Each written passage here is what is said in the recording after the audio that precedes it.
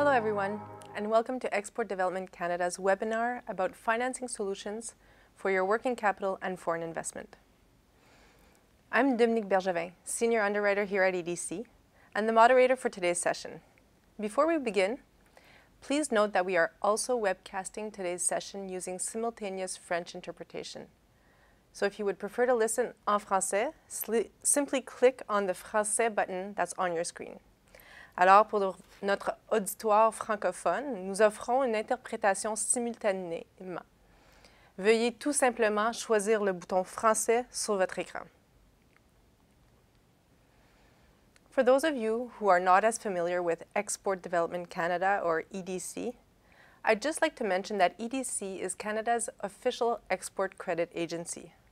Think of us as a bank and an insurance company all rolled up into one, which is completely dedicated to helping Canadian companies grow their business in international markets. EDC helps Canadian companies of all sizes, from all sectors, to respond to international business opportunities. And this includes sharing our wealth of knowledge and expertise on various markets, which we've gained by working with more than 7,000 Canadian companies and dealing in more than 200 markets worldwide. The purpose of today's webinar is to share us some insight about the various financing solutions that EDC can offer to meet the needs of your company, your foreign subsidiary, or your foreign customer. You'll also hear from a company who's had challenges acquiring the financing required to grow their business and how they overcame those challenges. If you're a Canadian company that's looking to graduate to the next level but need help with financing to get there, you've come to the right place. Joining me here in Ottawa today is my colleague Elaine Sicoli, EDC's Program Manager for the Export Guarantee Program, from our international financing team. Hi, Elaine. Hello, Dominic. Joining us from our studio in Mississauga, we have our EDC colleague, Jeff Keats, who is our Manager for International Financing. Hi, Jeff. Hi, Dominique. And we're very fortunate to have two representatives joining us from Scott Barrett Foods, a true Canadian success story that has enjoyed phenomenal growth and success over just a few short years. Here to tell us just how they did this is the president of Scott Barrett Foods, Dan Scott. Hi, Dan. Well, Dominique, happy to be here. Great. We're happy to have you here. As well, we have the VP of Sales and Marketing for Scott Barrett, Mike Durham. Hi, Mike. Hi, Dominique. Thanks for the invitation. Well, welcome to all four of you to our uh, webcast. And of course, I'd also like to welcome all of our participants to today's webinar, you that are listening. We're glad to have you on board and we hope you will gain insight from today's panel discussion that you can apply to your own business expansion and growth. Following the panel discussion, we'll provide an opportunity for audience members to ask their own questions. I'll be getting them here directly and we can ask them and live get your answers that will help you to expand your business or open a foreign subsidiary with financing. You'll also be able to access an archived version of this webinar. So if you miss an opportunity or you miss something and you want to go back to it, don't worry, we have you covered. So let's get started. Dan, the story, let's start with you. The story of Scott Barrett Foods is truly inspiring. Can you tell us a bit about your company and how you've grown during the last few years? Um, during the last few years. Uh, the, the company was originally started in 1985.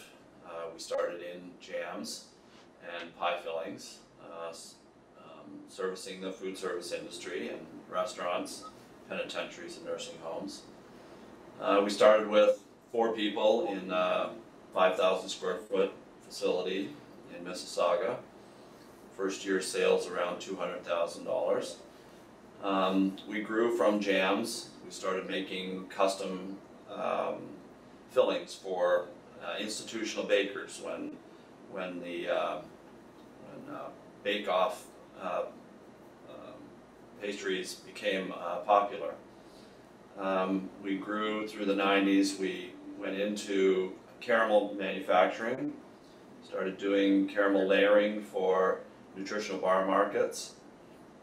Um, from there, we, we started uh, putting fillings in flexible pouching for uh, key brand owners uh, in North America to be part of their pastry kits or meal kits, uh, putting marinades into pouches for meal kits as well. So between 1985 and 2009, we grew from uh, four people uh, and uh, 200,000 to 2009 where we had about 60 people um, and we're selling around $20 million in gross revenue. In, uh, in 2009 we saw an opportunity to expand our business into uh, a new packaging format that had been popular in Europe for many years but no one had um, no one has been able to bring it to North America successfully um, and we, we felt that uh, we had the knowledge and customer base uh, to pursue this new flexible uh, package.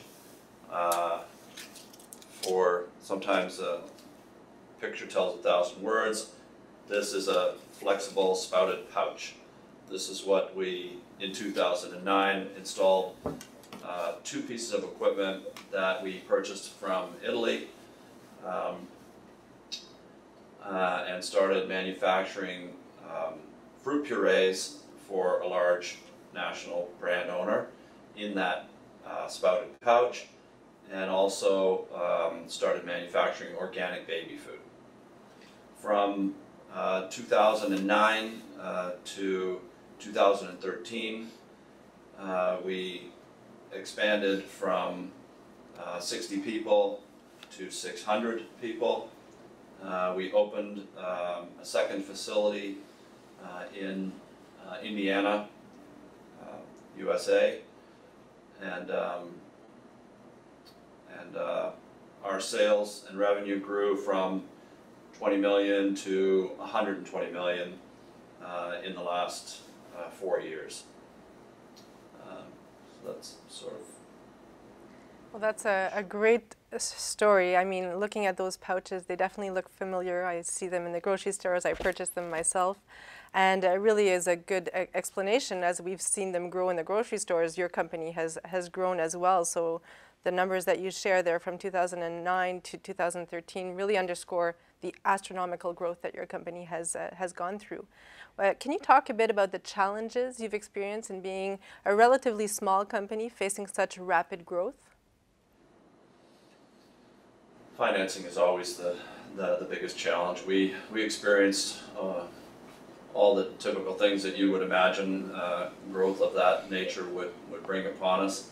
Um, integrating people, uh, finding people that had experienced uh, that type of growth before, uh, seen the movie, um, bringing them on board to assist in this rapid growth, um, managing uh, our physical environment, we, we had to expand from one small building of 25,000 square feet. We had to add a new building every time our uh, growth constituted. We were up to, in Canada, we were up to seven buildings all within uh, a small geographical area in order to uh, meet the demand.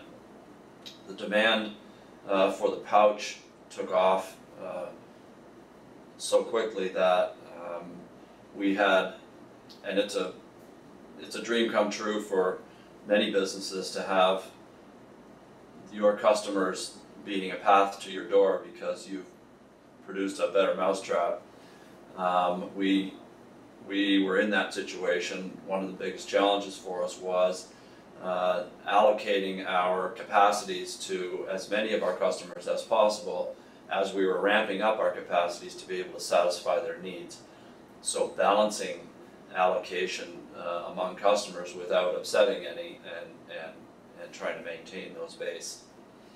And of course the, the, one of the biggest challenges is financing that kind of growth because um, you go from two of these machines to 16 and and you need to continue to purchase those and and uh, you're using your funds for operating and supporting your growth. Um, so getting uh, capital injection into the organization to to uh, support that growth uh, was probably one of our biggest challenges. I'm sure many other companies can relate with uh, some of, a lot of the challenges that you mentioned, and um, particularly on the financing front. Uh, our recent studies at EDC show that Canadian companies see financing for operating costs and foreign investments as a key barrier to growth. Can you describe the challenge um, a bit more and expand a bit on, on that challenge and how uh, getting financing in the time of growth and what that, uh, that challenge looked like for you? What it looked like for me was uh, after being in business for 25 years, uh, having an opportunity like this come along uh, doesn't happen all the time, um, and being convinced and having the conviction to take my personal assets and put them on the table and and go to our uh, bank to ask for financial support in our in growing our business. Um, I did that.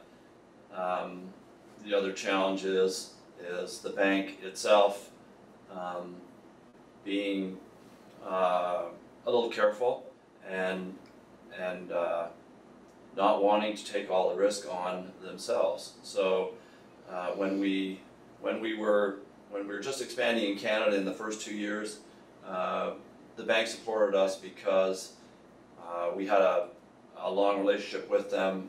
We delivered our numbers and forecasts over the years uh, to their satisfaction, and they supported our growth in Canada uh, in the first couple of years. Then when we decided that uh, we had to uh, open a facility in the U.S. in order to impact and support the growth opportunities that we had.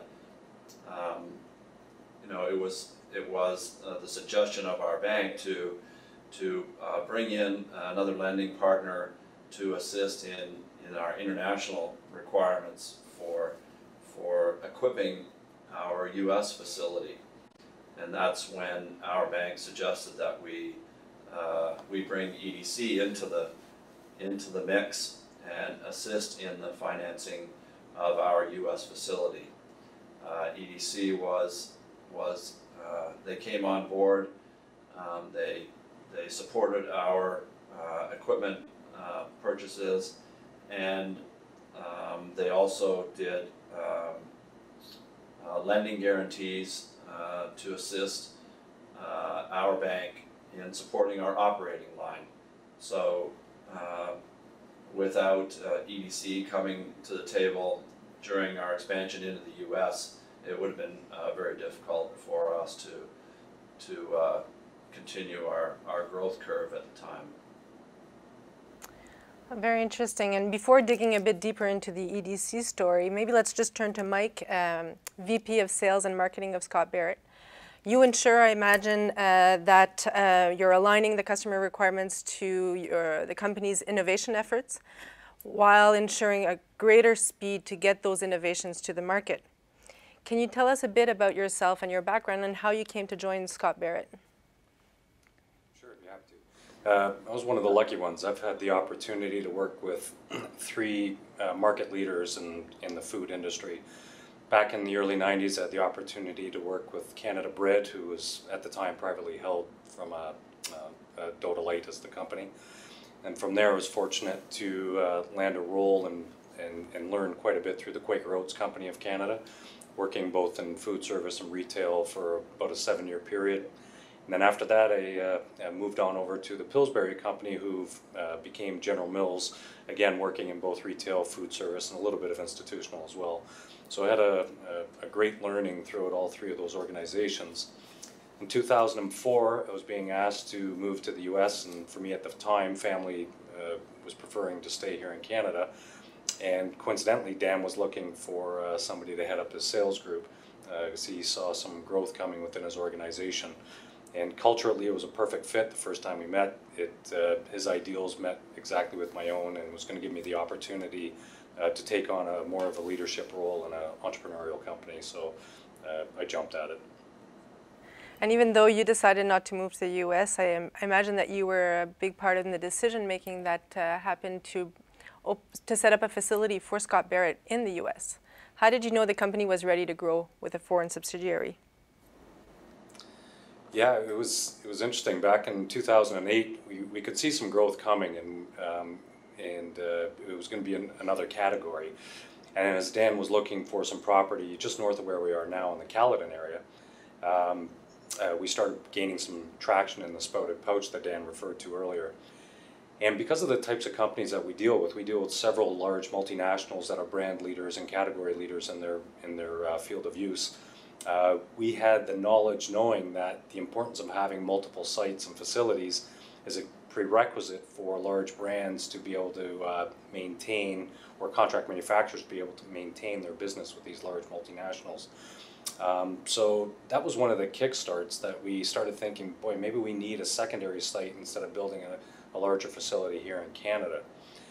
And with that, we also, uh, with our success, we caught the eye of, of our competitors, and our competitors saw what we were doing and and uh, wanted to follow suit. So we were catching wind that they too were going to be opening up uh, uh, to take on some of the growth that we were experiencing, and they were going to be U.S. based, which would at the time given them some competitive insulation and advantage to us for material sourcing and logistics.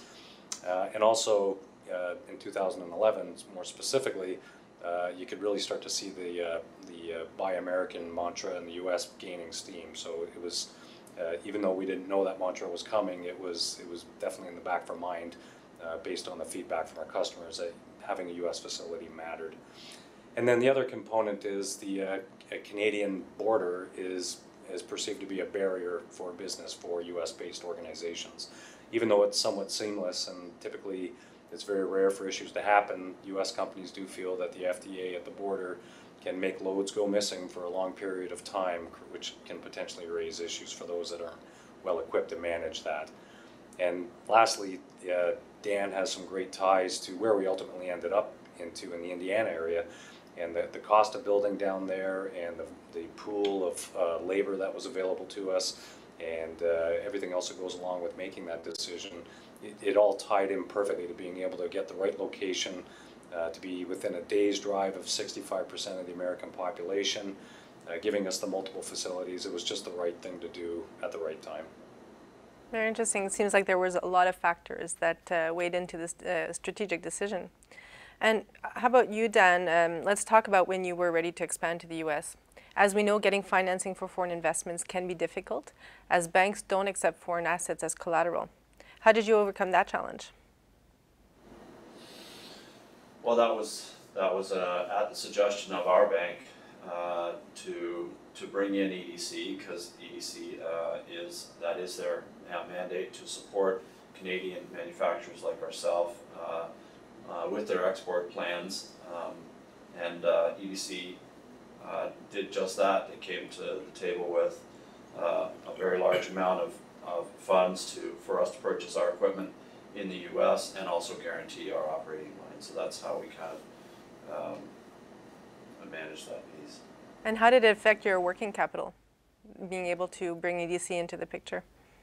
Well, bringing EDC into the picture enabled us to to use the, the profits and the personal equity that we were putting into our business for uh, our operating needs rather than uh, our capital needs. So uh, the introduction of EDC um, uh, assisted by, by putting equipment into our business that we didn't have to finance uh, personally and we could use, we could use our, our capital for, for our growth strategies. Elaine, it's nice to see that uh, EDC was able to help Scott Barrett in its uh, its growth and, and financing needs. Uh, can you maybe expand a bit more on the product? One of the products that Scott Barrett did use, the export um, export credit export guarantee program. Sorry, the EGP. You are an expert in this field, so maybe you could just give us a high level of what this product is all about. Absolutely, be happy to. So the Export Guarantee Program is a guarantee that EDC provides to your bank in Canada on financing put in place for Canadian exporters um, to get the cash that you need to grow your international business. Uh, we typically guarantee 75% of the loan, but can go up to 100% under certain circumstances. And as you've just heard from Dan and Mike, providing a guarantee to Scott Barrett's bank, guaranteeing a percentage of their operating line of credit, got their bank comfortable providing them access to the financing that they needed to grow their business. So, where does EDC provide most value? Uh, in cases where a company is new to a bank, setting up an operating line or getting a term loan for equipment can at times be a challenge as the bank has no history with your company. With EDC partnering with your financial institution, it often gets them there. As well, your financing need may relate to something your bank typically does not finance, such as purchase order uh, financing or contract financing. And again, with a guarantee from us, it can give the bank comfort in providing you with the financing you need. As in the case of Scott Barrett, um, you may be with, be with your bank for 10 or 15 years and you're in a uh, rapid growth mode and uh, you require additional cash to take on new export contracts or expand internationally. And banks typically have a ceiling for their lending exposure per, per customer. And so, with us there, uh, working with the bank, banks will often uh, get comfortable and be able to sort of um, go above that ceiling, if you will, because we're taking on a lot of that risk. Excellent. So now we've talked about the Export Guarantee Program, that how it helped Scott Barrett. Um, what other financing needs could the EGP help uh, or be used for? Um, what companies could also benefit from this program? What other types of uses? So the Export Guarantee can cover many different financing needs. Uh, over and above guaranteeing your operating line of credit, we can support financing related to POs or contracts, as I mentioned, equipment term loans, um, your inventory located offshore. So typically a bank will margin inventory that's located in Canada and you get access to funding based on that margining value. But if that inventory is located offshore in a bonded warehouse or in your foreign affiliates shop, uh, they typically won't give you margining against that. Um, also providing working capital for your foreign sub or even loans related to your R&D uh, expenses. Um, as well, any size of company can bear benefit from this guarantee, small, medium, or large, as long as your house bank is willing to participate with us. And just to give you a sense of size, uh, we've provided guarantees from anywhere from 18,000 to 10 million. And if you're not sure uh, whether you would fit for this type of support, don't hesitate to call us. We'll help you figure that out. So how would a company go about uh, in terms of next steps, in terms of um, seeing whether the EGP solution could be of use for them? Well, um, as you all may be aware, EDC has offices located across Canada, and they're all listed on our website on www.edc.ca. Uh, so we encourage you to contact the office located closest to you. Uh, an EDC account manager will be more than happy to answer any questions you have on the Export Guarantee Program or any questions your banker has. And they can walk your banker through the process of applying for this guarantee. The bank completes a very straightforward application form and sends us some information, including a copy of the loan agreement. And then we take it from there. Excellent, thank you. Welcome. And Jeff, over to you. EDC's direct lending program was used to help Scott Barrett get the investment financing they needed for their U.S. plant. Can you tell us how that works? Yeah, sure, Dominique. So whenever we have a company that needs financing solutions, financing support, we look at the different ways to help them. It could be indirect through the Export Guarantee Program that Elaine just spoke about, where we partner with a bank, or it could be a direct solution where EDC actually is the lender and a company like Scott Barrett is our direct customer, the direct borrower. So in this case, Scott Barrett was looking for someone to finance the U.S. equipment, the U.S. machinery that's going into their plant. Uh, and it turned out that direct lending from EDC was the optimal solution after discussing this over with Scott Barrett and their bank. So what EDC did is we provided a five-year term loan uh, to acquire that equipment, that machinery. Uh, we didn't finance 100% of the equipment costs. I mean, Scott Barrett had to put in some equity, uh, but we financed a, a large proportion of that acquisition cost for a five-year term loan and we structured in a manner that we were secured by the U.S. asset, so that was our collateral. As well, we had a second position security interest behind the Canadian bank and the Canadian assets, and a corporate guarantee from Scott Barrett. Um, things are going well, so a few years later, uh, as Scott Barrett continued to grow, they needed more lending support to buy more assets. So again, we provided another term loan to Scott Barrett uh, to assist that further growth in the U.S., and it was structured the exact same way as the first deal. Are there any other ways the direct lending program can be used? Like what kind of companies or situations would benefit from this program? That's a great question, Dominique. And before I get into that, I just want to reiterate two things. First, today we're mostly talking about lending solutions, whether it's direct or the export guarantee program.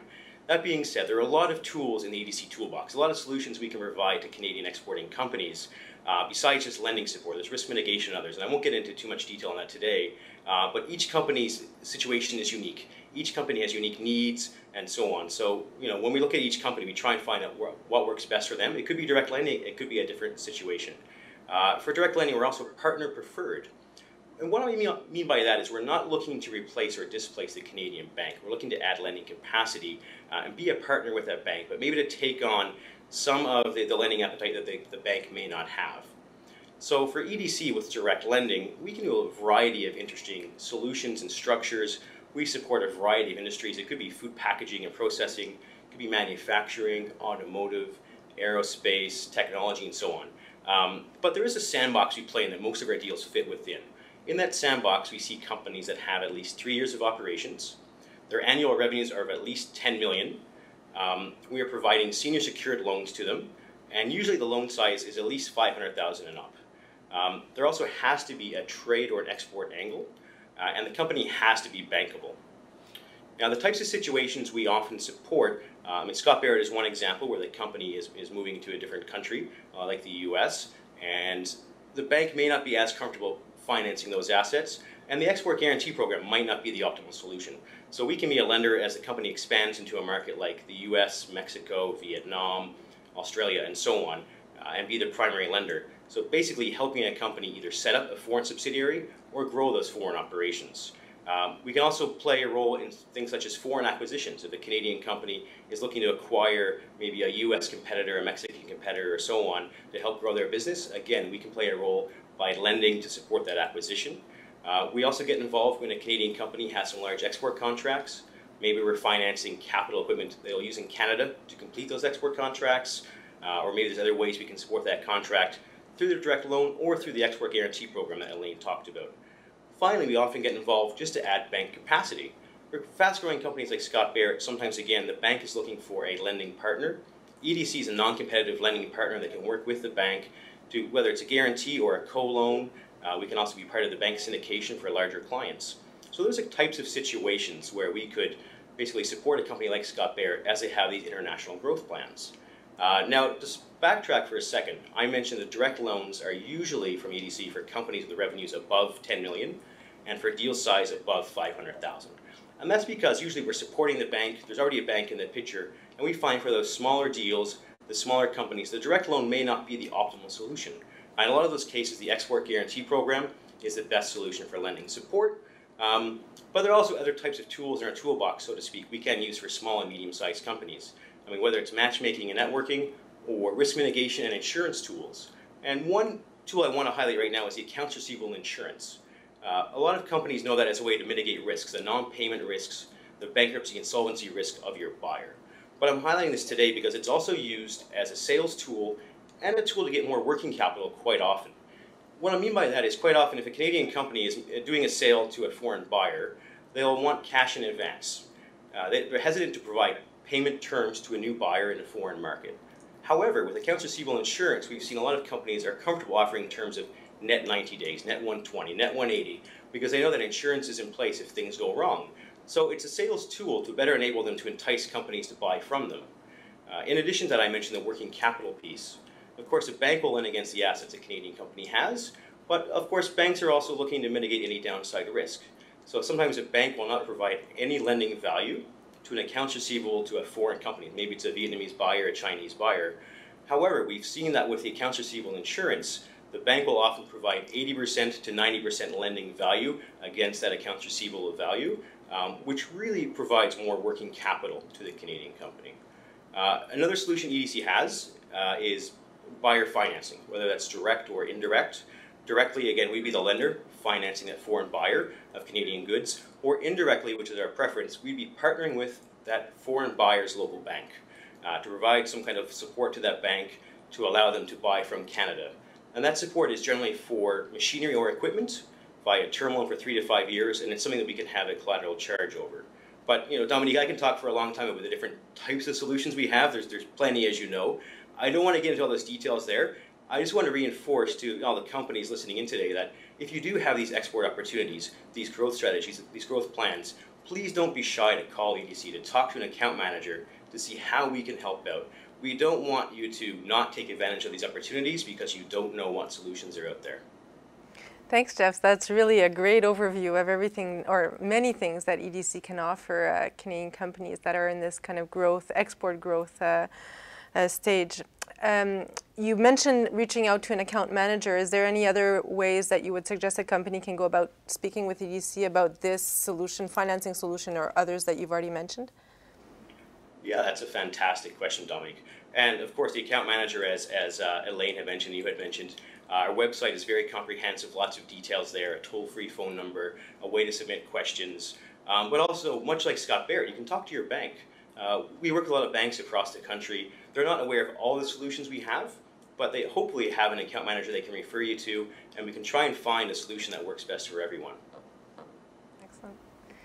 It's almost time to move on to our Q&A session. But before we do, Dan, if you were to look back over the growth of the last five years, going from 20 million, uh, from a 20 million dollar company in 2009 to a 120 million dollar company in 2013. What words of wisdom or tips could you offer the companies out there that are, may just be starting out on the same kind of journey as Scott Barrett has been on? Um, financing always being one of the biggest challenges. Uh, definitely maintaining a strong relationship with your financial institution. Um, doing that by uh, putting lots of effort into your uh, forecasting and developing plans and delivering those plans so that that you you develop uh, a trusting working relationship with your financial institution um, is important because when the day comes where you have to stretch uh, your your uh, ratios, for instance, or or find funds for expansion, um, it's much easier to sell that opportunity to your financial institution uh, when you have a track record to go by. So uh, do what you say and say what you're going to do um, is important. It's important in uh, for growth like that to make sure you get the right uh, people around you. Hiring people that have seen this type of growth before is important. Um, I think uh, when the opportunity for you uh, shows itself to expand uh, into the export market, um, my it's gone very well for me. So I would recommend that when the opportunity comes to to be able to actually manufacture in a foreign location, um, to, to take advantage of that. There are all kinds of benefits that come from that. There is a lot of regional support in various places, uh, U.S. in particular, where you have states that uh, work very hard to entice you to come to their region. They give you tax incentives and abatements and training grants and, and everything of that nature. And it puts you in the heart of a very large market to expand. And it's not, and, and don't view it like you're taking jobs away from Canadians because it's exactly the opposite. Uh, what it, what EDC and our growth and our expansion in the U.S. allowed us to do was grow our business, uh, get a, a lot of new customers in a foreign market that we would not otherwise have been able to get had we not been manufacturing in that location. And as it, as the whole uh, business evolves, it's now afforded us the opportunity to also grow our Canadian business, amalgamate our six buildings into one, and and really uh, raise our our international status by having uh, large, very qualified facilities and people in both countries. So taking advantage of of uh, of moving to export and, and manufacturing close to your customer, uh, I would also um, jump at that opportunity I had it. And uh, jumping at opportunities, last thing I would say is that when you have one, um, be brave, be confident, and because you need to make hay when the sun shines. So uh, capture those opportunities when they come because um, they don't come that often sometimes. Well, it seems that that's exactly what you and your company have done. So that's great. Thanks for taking the time to share your story and share your insight and your tips, very good tips, getting closer to your customer, and a bit into your, your strategic vision for the future. Mike, did you have uh, anything to add to, uh, to what Dan has said in conclusion?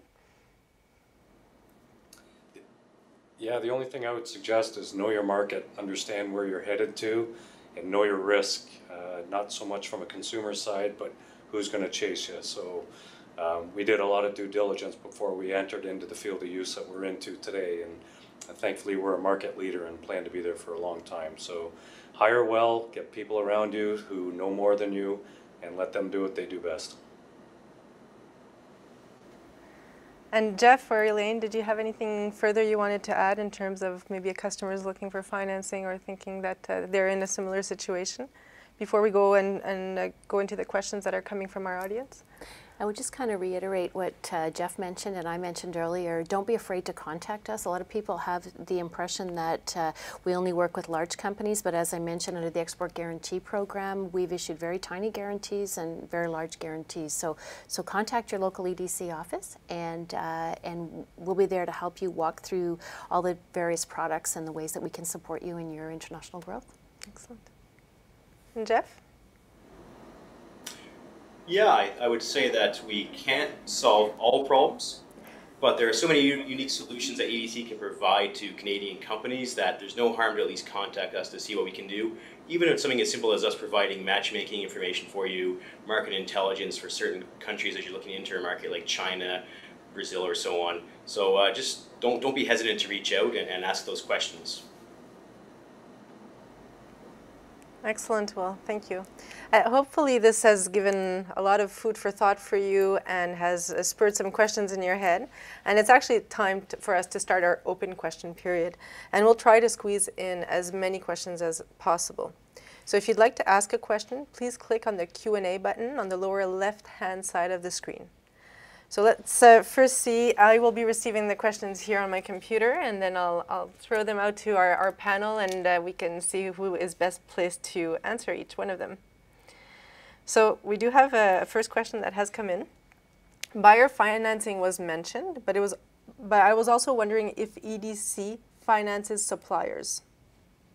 So I can take that one. Dominic? Perfect. Elaine will uh, so um, if your supplier uh, needs financing to produce the goods that they're going to be supplying you with, and they can go to their bank uh, in, uh, in Canada and get that financing, we can support um, those type of financing opportunities as long as what they're selling to you, you will then incorporate into what you export. Excellent. Anything to add? Yeah, it's uh, Jeff here, Dominique. Uh, I actually saw an example of that last year. So a Canadian company, a customer of ours, um, very, very strong company, had a great relationship with a supplier, but they're both looking for a way for maybe the supplier to offer more terms to the company as their existing customer. What ended up happening actually is a mixture of two solutions. One was the export guarantee program, working with that supplier's bank to add more lending capacity, but also the accounts receivable insurance. And what happened there with the accounts receivable insurance is it allowed that supplier to get comfortable offering terms to their customer, which in turn was beneficial to our customer because they didn't have to now pay their supplier right away. So it really helped both companies um, really get more access to working capital and work better together. Excellent, great example. The next question, our company has a current debt and at maximum on our credit facility. We have approached EDC who has requested our bank to extend our credit facilities. However, the bank refuses to do so. Any uh, advice for this, uh, this company? Well, I think the first thing that I would offer is um, to find out if your bank is aware, well, obviously, sorry, they are aware that EDC is in the picture. And unfortunately, if the bank is, is truly not comfortable, even with our guarantee support uh, to provide you with the additional financing, unfortunately, there's nothing that we can do under the export guarantee program. Um, I don't know, Jeff, if you have something to add to that, perhaps under the direct lending, that might be something we could do. But under the export guarantee program, we have to work with your bank. Um, and so if they're not willing to add that capacity, unfortunately, we can't play a role under that uh, program. Yeah, Elaine, it's Jeff here. Uh, every situation, again, as I mentioned, is unique to that, that customer. It's case by case. Um, in some cases, maybe EDC doing a direct loan may work. Uh, but again, there's different tools in our toolbox, as I keep saying. It could be the accounts receivable insurance, which just increases the amount of margining available under the operating line. It could be a way we can partner with the bank to get the, the bank more comfortable issuing letters of credit, letters of guarantee, which can then be used in creative ways to structure export contracts. Um, so I'd say really, there's different solutions we could look at. Um, but to your point, Elaine, if, if the bank's not comfortable with the export guarantee program, uh, it's hard for us to, to, to, force their hand. We're, we're partners with the bank and with the exporter. Everyone has to agree on the right approach. Excellent, thank you. The next question is uh, wondering if we can use a letter of credit, an LC, from an international customer as collateral for a loan. Have you ever it's, seen this? Uh, Jeff. Yeah? Yeah, it's Jeff here. We wouldn't be looking to use that as, as collateral uh, for our loan. Usually when EDC is direct lending, uh, we are looking at tangible assets such as machinery, equipment. Uh, in the Scott Barrett example, kind of the machinery and the equipment we finance for them would form our tangible collateral. That being said, I guess Elaine, under the export guarantee program, if there's a variety of collateral to a loan facility, uh, we would follow the bank's lead, assuming it made commercial sense. Is that correct? That's correct, Jeff. Excellent. The next question is pertaining to accounts receivable insurance. Although this, you know, we don't necessarily have the experts of accounts receivable insurance here. Maybe what they're asking is more about, you know, general rates. What is the general pricing for accounts receivable insurance? And I think that that may be a very difficult question to answer because pricing is always tailored to the specific transaction and the specific uh, risks. But uh, does Jeff, do you, would you have any insight to provide on, on that? Yeah, of course. Uh, so again, pricing, as you say, Dominique, is very specific to each uh, scenario, and it'll depend on the, the, credit strength of the the buyer we're insuring, and also depend on the, the, the, overall volume of the policy and how many buyers are in there, how diversified that risk is. Uh, you know, for, for top tier buyers, I'm thinking like you know the WalMarts and the Apples of the world, it's a pretty low premium, maybe uh, 0.1%. But if you're looking at maybe a higher risk buyer in a challenging market like Greece or Egypt, it's not uncommon for that insurance to be as high as maybe 1.5%. It's a really big range, so it's going to really depend on uh, the, the buyer looking at, the country of risk, and how many buyers you're putting in your portfolio of the insurance. Because we could insure just one buyer or your whole portfolio of in, uh, receivables so that you know a quick inquiry in, through uh, EDC's website or a quick conversation with one of our uh, people that are on our 1-800 number can give you better insight into the specifics of your transaction of your your uh, your portfolio and the pricing that might be tied to that. The next question, can EDC help a company get working capital for their foreign subsidiary? So I'll take that, uh, Dominic. So there's a couple of ways that uh, we can help here um, when you as the parent fund uh, your foreign affiliate, we can guarantee a loan from your bank for that purpose. Or there may be a situation where your foreign affiliate uh, wants to set up their own operating line with a local foreign bank. And in a case like that, typically the foreign bank will look for a standby letter of credit from the Canadian Parents Bank in Canada. So they would issue that uh, standby letter of credit as security for the operating line offshore for your foreign affiliate, and we can provide a guarantee to that bank uh, for the full amount of that uh, standby LC. And in this way, your bank won't tie up uh, your cash to support that standby letter of credit or won't freeze, uh, free, uh, sorry, freeze funds in your operating line of credit with our guarantee there to support that. Excellent. Thank you. Going back on the, the question of price, uh, we have another question that came in related to the cost of uh, how much does it cost to get financing from EDC. Again, I would imagine that the answer is, is very, it varies significantly. But if you could provide insight into the factors that may weigh into the pricing decisions on financing. So if we're talking about the Export Guarantee Program, um, we have what we call grid pricing, and that pricing relates to um, your risk rating, so how the bank uh, rates your company from a risk perspective. And so our rates are very much associated with your risk rating. Um, I don't know, Jeff, if you have anything to add on to that for direct lending, but it's uh, it does basically work with regard to uh, risk rating and what collateral supports the loan. Mm, of course. Yeah, that's that's exactly it, Elaine. For direct lending as well, uh, the big criteria are going to be the risk rating of the company, the nature and location of the assets. Uh, other factors will come into play as well, such as the loan to value we're providing. Um, you know, higher loan to value may, may dictate a higher pricing, uh, and we price to market and price to risk when we direct lend. So we're not looking to undercut uh, the, the existing bank market. So, for example, if we are uh, financing your USS, your US assets, we would probably price that loan a bit higher than you're getting for your, your Canadian assets, just to factor in that risk premium. In terms of EGP, so I guess more directed to you, Elaine, yeah. how is it if a supplier deals with more risky countries? So I imagine generally, you know, here they mentioned the Middle East, but any area where there is more political strife, can does that pose any restrictions in, in your ability to extend support? Um, with regard to our program or any of our financing programs, um, we can't support transactions that um, are related to countries that Canada has sanctions against. Um, and so the bank would be under the same restrictions as well. Um, but under the Export Guarantee Program, the bank is always our partner, the Canadian Bank, and the financing relates to um, financing for you or your foreign affiliate. So we're basically taking the risk of the company in Canada uh, when we're looking at that. And, and if, for instance, the support related to a contract to a company, um, to a buyer in a high risk market, we would take that into account. But what would be the, the final determinant is whether there is uh, sanctions against that country, because mm -hmm. that's something that we could not support. And is there any kind of online tools or information for customers to go see whether there are some hotspots that we can't cover in? Mm -hmm. Is anybody aware of, of that?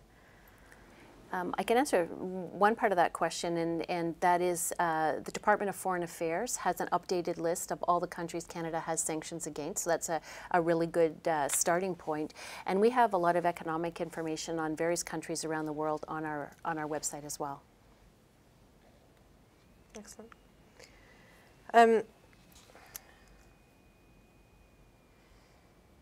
so a lot of questions around the, the different high-risk markets, and I think that also in, in terms of EDC and what we can offer, there is a lot of information on our website about country risk, and so suggest going to even EDC's website and finding more about how EDC views certain countries in terms of the risk profile, and, and still talking to EDC. EDC is, is still a company, or a crown corporation that is seeking to support our Canadian companies. So even when the markets are a bit more risky, uh, there may be a role for EDC to play there. Um, Dan mentioned that it was actually um, their bank that referred uh, them to EDC. What if the bank is not necessarily aware of what EDC can do? So the, uh, the, Canadian company is talking about it with the bank, but the bank is not aware. Is there any information available that the companies can share with their banks to bring them aware of the products that we can offer? Well, I'm very happy that you uh, asked me that question because uh, recently, about a year and a half ago, we set up a uh, Canadian um, Banker's Guide on edc.ca. It's on our landing page. It's uh, towards the bottom left-hand corner of the page. And uh, it has information about all the solutions that we work with with Canadian banks. Um, and uh, it certainly has a wealth of information on the, the Export Guarantee Program and other other programs that, that we offer. So the address for that is http colon uh, two slashes fi guide all lowercase dot edc.ca slash EN or FR. Uh, and they would go in and click on the tab called Learn About Our Products. And all of the information is there. It's tailored to banks. Uh, the application form is there, sample guarantees if they want to see what they look like, um, and that, that type of thing. So that's a really good place to uh, direct your bankers to if they're not aware of uh, the program. Excellent. Another question we received, can EDC finance small buyers in other countries without collateral? So maybe Jeff, over to you on that one. Yeah, sure. It's it's to be honest, it's sometimes challenging for us to finance uh, small buyers in foreign markets if there's no collateral. If we can find a way to partner with that uh, buyer's bank, maybe there's a solution we can come about. Uh, but by and large, when we're doing something where we're lending directly, we need to have some kind of tangible collateral. Uh, but of course, open to seeing what we can do to partner with that foreign bank if need be. Excellent. So I haven't received any further questions here. Uh, if you do have a question, please do press the Q&A button at the bottom of your screen and send it in the next minute or so. Um, does anybody else have anything to add to this conversation? Um, maybe I'll just add that um, with regard to your bank's understanding the export guarantee program um, and other programs that we have, our local sales force meets with their counterparts at all of the big banks that, that we work with, and we also work with some smaller banks as well. And uh, on our team, our, our um, what we call our region leads, uh, we go out and we meet with the head offices of the banks and the credit groups of the banks, and we're always trying to get our message out there so that there's we de demystify what we do with the banks, and we find that's a really good way to sort of keep us top of mind, and um, and it really uh, invites a relationship with the individuals that we're talking to, so they're comfortable picking up the phone and asking us about a certain scenario that comes to them from their customers who are exporters, and and so it it really lends itself well to getting that information out there and to opening up the lines of communication. Excellent, thanks. We did get. Um, one more question was just maybe just seeking some clarity on something that's already been said, uh, seeking for you to elaborate a bit more on what you meant by risk grading. So, okay. I, in describing how you price, I think you were talking about the risk yeah. rating? So um, whenever a financial institution is looking to provide financing to a company, uh, we're going to look at your financial statements. So typically we'll look at your last three years financial statements and we'll look at your cash flow projections going forward. And taking into account all of those aspects, we'll come up with a risk rating for the company. Um, I'm sure you've all heard of Moody's or Standard & Poor risk rating. We have a certain um, um, tool that we use that we put the information into, we analyze the information, and that will provide us with a risk rating. However, we'll do our own analysis um, on your company when the bank comes to us for a guarantee, but also we'll look at how the bank has rated your company because they know you a lot better than we do. They come and they meet with you every year, they go through your, your plant with you, they have conversations with you, so they're much closer to you because you truly are their customer. And so we also also rely quite a lot on how the bank has rated the company. So I hope that uh, helps to answer that question. Excellent. So I think we'll um, we'll stop it at that. We haven't received any further questions, but it's not the end. If you have further questions, you can still send them in, and we will do our best to uh, look at them and send you back a response. Um, by email, you can send it to us, and uh, we will get back to you. I'd also like to remind participants that they'll be able to review today's presentation on our website. So you'll you'll be receiving an email from EDC with a link to access it so that you can refer back to it or share it with others. If you'd like to learn more about EDC's various financial solutions, just go to our website, as we've mentioned before, at edc.ca uh, slash solutions. You'll find a ton of information and resources right there. Thank you very much uh, for joining us, and thank you for our special guests, Dan and Mike, uh, as well as Jeff and Elaine, for offering all of the great story that you shared about Scott Barrett, as well as the expertise on the financing solutions at EDC.